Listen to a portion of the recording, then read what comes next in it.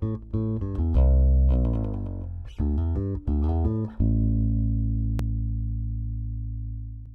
this is Brandon with The Perfect Bass. Today I have one of the new Music Man Classic Sterling basses. Some of the unique things about these basses that uh, haven't been done with a lot of other Music Man stuff is uh, you'll notice there's a glossed neck. This particular neck is uh, a flamed maple neck, has a maple fingerboard, powder blue is the color, it's an ash body. Um, some other unique things is it has a two-band EQ, which is a little bit different from Music Man basses um, single humbucking pickup in the bridge position. And uh, also you'll see these muting pads in the bridge, which is a pretty cool feature. Um, one of the things that I really love about this bass is it has sustain for days.